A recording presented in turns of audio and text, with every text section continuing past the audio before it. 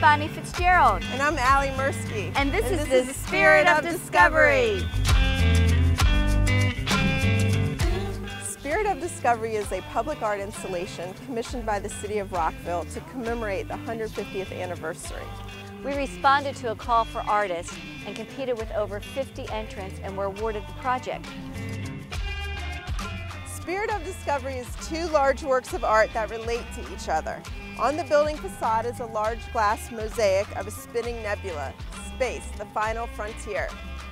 In the garden below stands a sculpture of a young girl looking at the nebula through a telescope. Celeste is looking to the future, yet her telescope is an old-fashioned design, a salute to the past. Visually uniting the two main works of art are 11 stars and 50 pieces of stardust. These additional elements complete the story and draw the viewer's eyes between the nebula and the sculpture.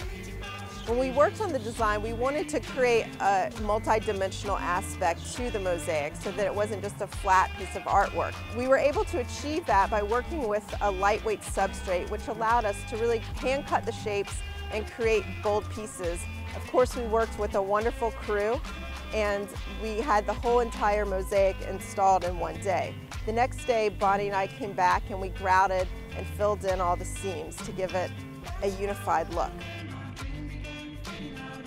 Celeste stands about seven and a half feet tall and she's adorned with about 50 square feet of mosaic.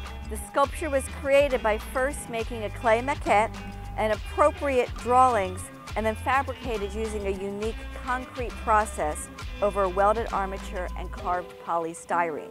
The installation day was not quite as beautiful as the Nebula install day.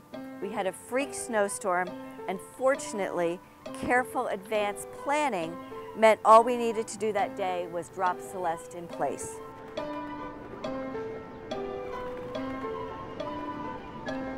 The design that we chose is, is, timeless and reflects the heartbeat of the DC metro area. The Spirit of Discovery also reflects who we are as artists.